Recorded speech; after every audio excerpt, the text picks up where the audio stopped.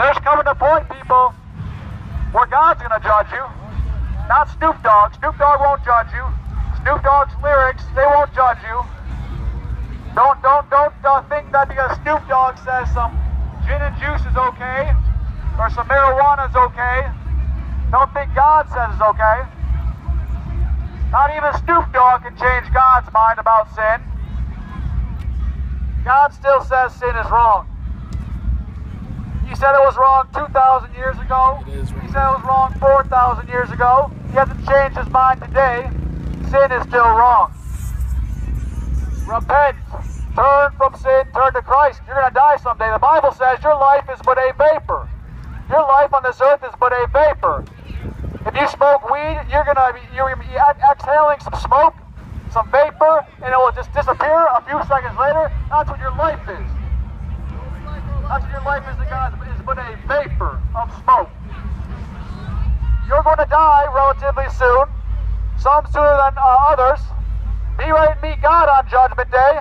God's a holy God. God, uh, God is not a God who uh, listens to Snoop Dogg. He doesn't uh, rejoice in what Snoop Dogg says. He doesn't rejoice in what Tech N9ne says. He doesn't rejoice in what these artists say.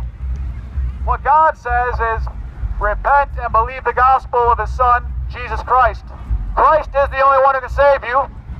Snoop Dogg did not live a sinless life and die on a cross and resurrect for your sins. I think we can know that from the fact that Tupac is not resurrected. I think we can know that from the fact that Biggie has not resurrected.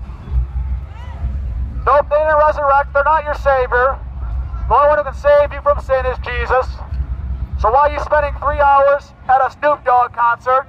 You can't even spend one hour in the Bible a day, and you spend three hours at a Snoop Dogg concert. Can't spend three hours in prayer, spend three hours at a Snoop Dogg concert instead. You need your priorities rearranged, people.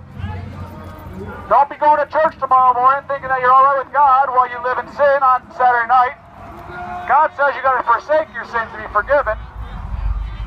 As in Proverbs 28:13, he who, he who covers his sins will not prosper, but whoso confesses and forsakes his sins will obtain mercy.